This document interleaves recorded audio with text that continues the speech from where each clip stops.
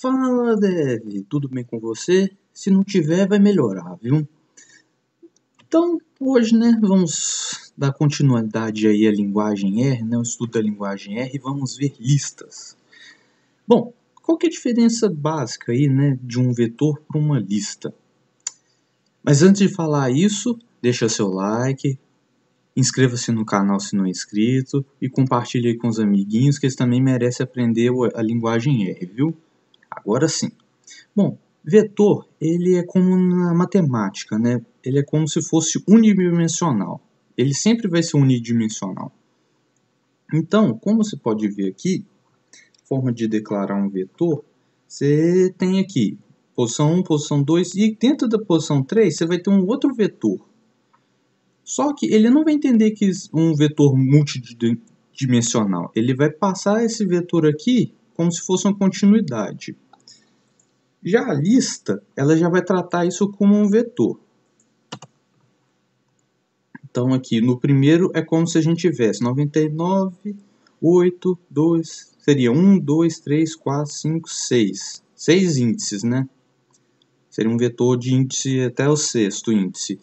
E já a lista teria só três índices e seria acessado aí você no terceiro item que você teria sequência. Beleza? Joia. Essa lista também, assim como o vetor, você pode ter texto, valor lógico, true, false, enfim. Então, beleza. Então você pode ter valor true, falso, valores lógicos e tudo mais. Tranquilo? Então vamos lá, né? Agora vamos, vamos explicar como que se acessa né, um índice.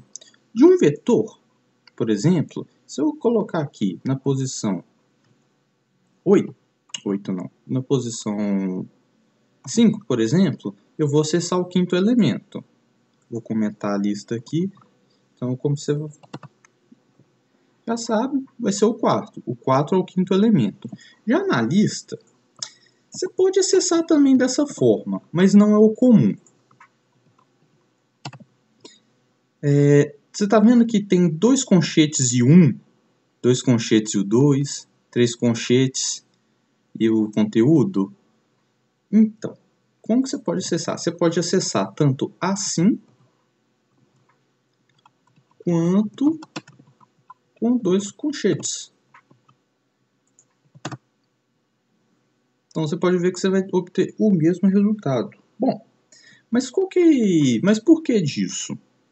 Porque vetor ele vai entender que sempre vai trabalhar com um colchete só você está trabalhando com um vetor. Quando você usar dois conchetes, dois abre conchetes, dois fecha conchetes, então ele vai entender que está trabalhando com uma lista. Por exemplo, eu estou aqui na posição, aqui no índice, né?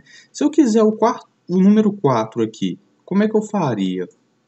Eu, eu chegaria no índice 3, opa, não, 13, 3, e depois eu posso, só um conchete, porque é um vetor, e no índice 3. Beleza, eu consegui acessar o vetor de número 4.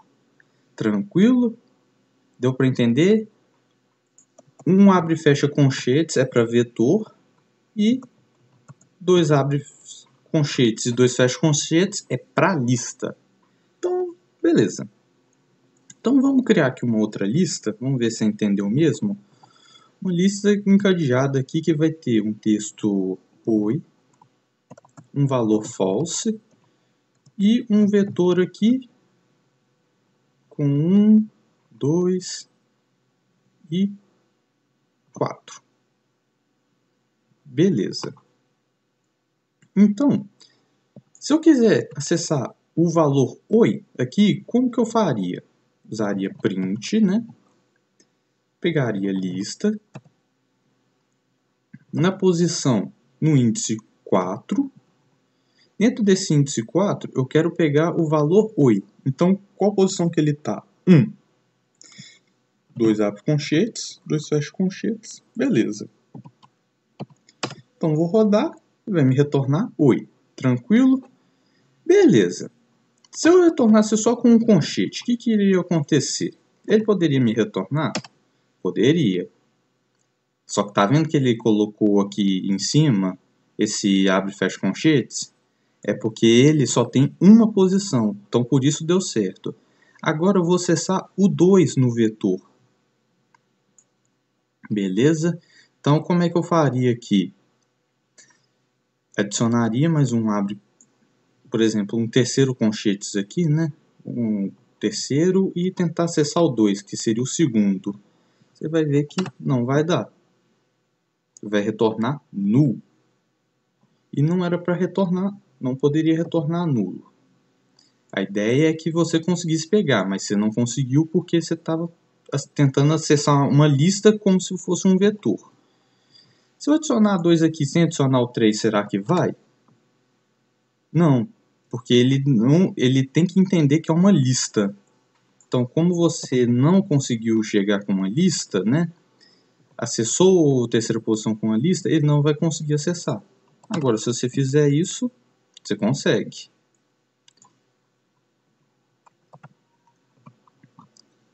No caso, você consegue acessar um vetor como se fosse uma lista. Né? Uma lista, de certa forma, é um vetor. Mas um vetor não é uma lista. Ele não consegue se comportar da mesma forma. Enfim, é isso aí, né? De acesso a vetores, é, é isso. Então, vamos lá, né? Vamos às outras, algumas outras informações bem úteis. Bom, se você quiser adicionar um conteúdo nesse vetor, por exemplo, na posição lista, né? Aí na primeira posição desse vetor, vou colocar o valor de 10 elevado a 4 aumentar o valor aí. Se eu der um print na lista, você vai ver que o valor vai estar tá diferente.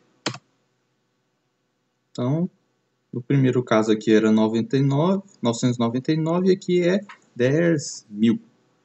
Beleza? Tranquilo.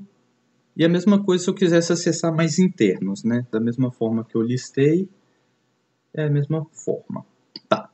Então, uma outra situação que você possa ter também é juntar duas listas. Você vai precisar de juntar duas listas. Então vamos criar duas listas aqui. Lista 1.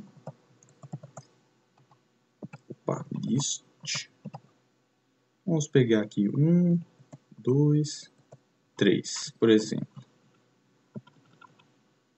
E a outra lista, 2, Vou apagar aqui só para ficar mais legível isso. E a lista 2 vai ter letra A, letra B e, opa, e a letra C. Precisava ser igual, não? então vou deixar só A, só para ver que diferente também vai. Como você faz uh, esse merge, né, essa união desses dois vetores? Simples. Você vai criar um terceiro vetor uma terceira, um vetor, você vai juntar duas listas. Por exemplo, vetor, né? Colocar aqui vetor resultante. Então, o que, que você vai fazer? Você vai fazer isso. Lista 1, vírgula, lista 2. Joia. Na hora que você der o print, vetor resultante, você vai ver que os valores se uniram. Ah, lista, né? É list. Então, como você pode ver, né, agora é uma lista única que vai ter os valores 1, 2, 3, A e B. Se eu adicionasse uma lista interna, né?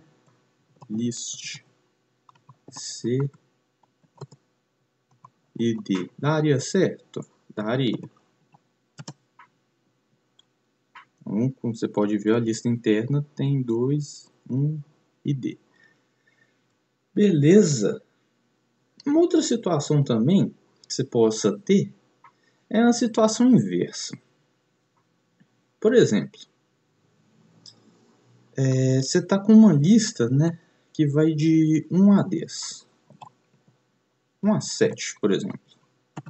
Dá um print aqui, né? Lista. Lista 1.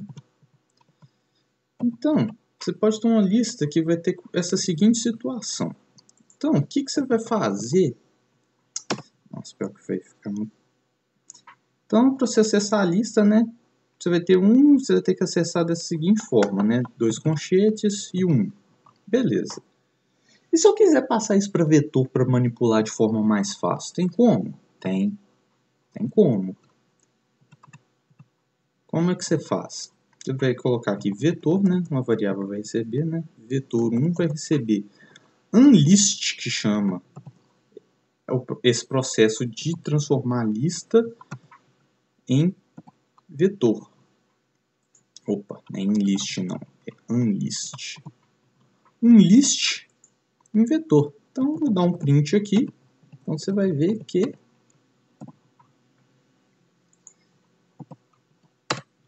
Antes estava comportando como uma lista, né, dois conchetes em cima, agora como um vetor. Beleza? Entendido? Então, só recapitulando aí. É, Para você acessar uma lista, você utiliza dois abre conchetes e dois fecha conchetes e o índice, e o vetor é só um conchete. Né? É isso. Espero que você tenha gostado. Se não curtiu, deixa seu like, compartilha aí com os amiguinhos, se inscreva no canal e até a próxima. Tchau, tchau.